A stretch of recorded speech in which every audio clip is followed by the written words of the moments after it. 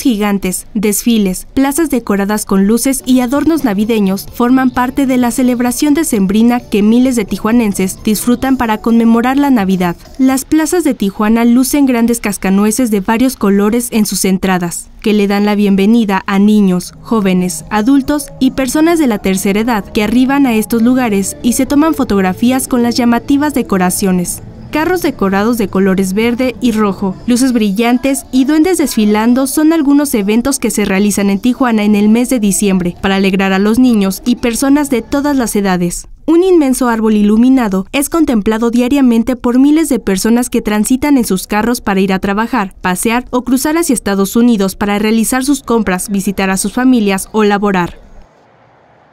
Con información e imágenes de Marta Alicia Reyes, corresponsal en Tijuana, Notimex.